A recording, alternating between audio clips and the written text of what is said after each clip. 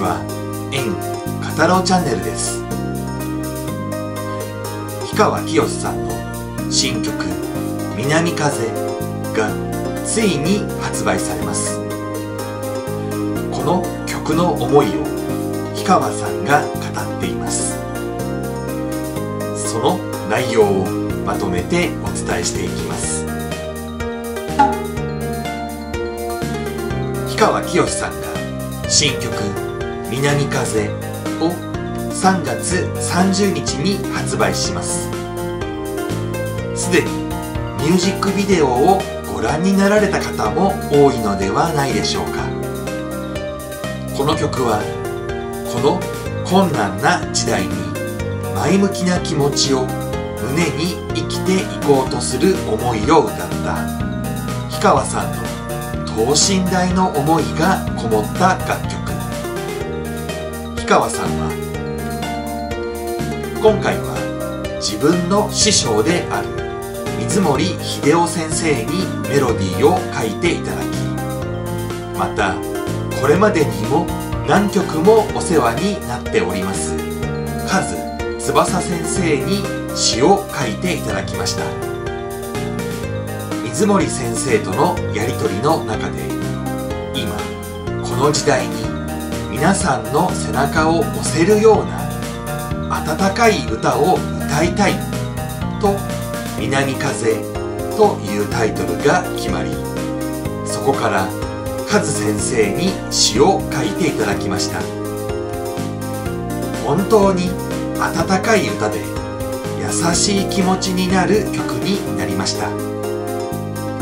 今世の中全体が北風のような大変な世の中ですが少しでも歌で励ましの言葉を送らせていただきたいという思いが形になった作品です。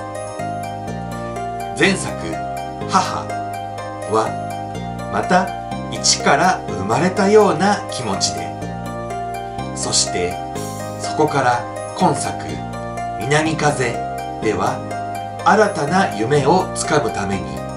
主人公がどんなことにも負けず明日に向かって生きていく。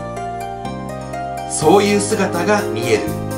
本当に心にじんとくる作品となっています。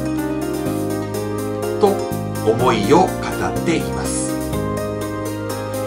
ここ最近限界突破サバイバーや青しなどこれまで歌ってきた演歌歌謡曲とは一線を画す作品もリリースしている氷川さん。ジャズブルースシャンソンも勉強したい。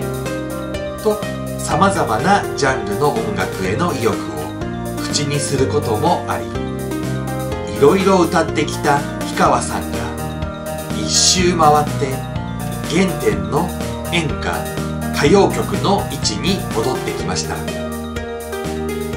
いろいろ歌って今までよりもさらに歌に深みが増しているのではないでしょうか。氷川さんはカラオケでも本当に歌いやすいと思いますしいろんな世代の方々に聴いていただける歌謡曲に仕上がっています。川きよしの新たな出発の作品。22年目のスタートの作品です。南風。ぜひお聴きください。新曲「南風」とても楽しみですね。ご視聴ありがとうございました。